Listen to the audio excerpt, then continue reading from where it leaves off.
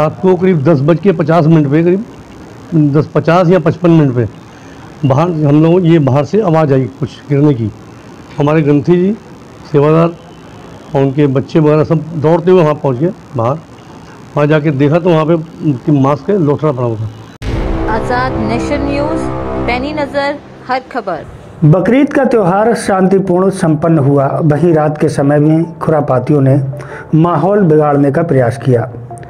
मामला थाना प्रेमनगर क्षेत्र के गुरुद्वारा श्री गुरु नानक सत्संग सभा का है, जहाँ रात्रि लगभग 10 बजे किसी ने गुरुद्वारे के अंदर काले रंग की थैली फेंक दी। गुरुद्वारे के स्टाफ द्वारा कूड़े की थैली समझकर जब देखा तो पन्नी में मांस पाया गया, जिसको देखकर गुरुद्वारा स्टाफ में अफरा तफरी मच गई और गुरुद्वारा प्रबंधक कमेटी को सूचना दी गई। प्रबंधक कमेटी के एकत्र होने पर मौके पर शाहबाद चौकी इंचार्ज फोर्स के साथ पहुँचे।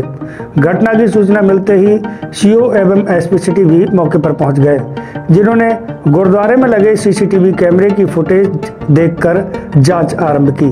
फ़िलहाल देर रात तक किसने मास फेंका था, इसकी जानकारी उपलब्ध नहीं हो सकी है। रात को करीब दस बज के पचास मिनट पे, करीब दस पचास या पचपन मिनट पे। बाहर हम लोग ये बाहर से आवाज़ आई कुछ गिरने की। हमारे ग्रंथी जी सेवादार और उनके बच्चे वगैरह सब दौड़ते हुए वहाँ पहुँच गए बाहर। वहाँ जाके देखा तो वहाँ पे उनकी मास्क है लोथड़ा पड़ा हुआ था। मतलब तीन चार जगह पे था उसका। एक सीढ़ी पे नीचे भी दो जो हम लोगों ने फ़ोटो खींच के अपने कैमरे में अपने उसमें अटैच कर लिया पन्नी गिरा फट गई। हाँ पन्नी थी पन्नी काली पन्नी में थी। अच्छा, फिर पुलिस को सूचित किया फिर तुरंत? उसी समय एक सौ बारह नंबर मैंने फ़ोन किया। तो पुलिस आ गई। एस पी सिटी साहब आए सी ओ साहब आए और इंचार्ज साहब आए प्रेम और फोर्स भी आ गई। तो उसके करीब कम से कम रात को हम लोग करीब एक डेढ़ बजे फिर चले गए। सीसीटीवी में क्या दिख रहा है? कोई इंसान दिख रहा हाँ है? सीसीटीवी में केवल गिरता हुआ गिरता गिरता हुआ दिख रहा है लेकिन किसी की फ़ोटो नहीं आ रही है। वहीं एसएसपी बरेली का कहना है धार्मिक स्थल पर मांस फेंकने का मामला सामने आया है। प्रबंधक कमेटी की तरफ़ से तहरीर दी गई है, जिस पर मामला दर्ज करने के लिए कहा गया है।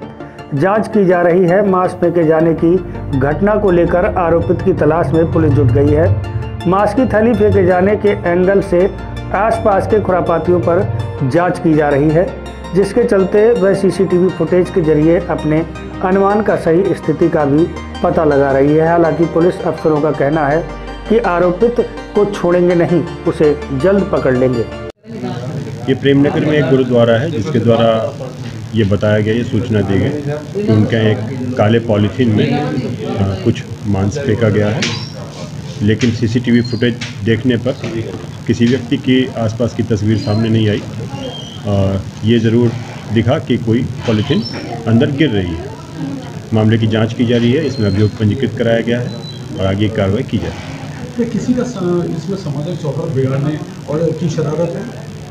अभी कहना बहुत मुश्किल है, क्योंकि अभी हमारे पास इसके साक्ष्य नहीं हैं चूँकि सामाजिक सौहार्द बिगाड़ने के लिए क्या मकसद गुरुद्वारे में फेंकने का हो सकता है, या पीछे से फेंकने का क्या मकसद हो सकता है, ये अभी तय नहीं किया जा सकता।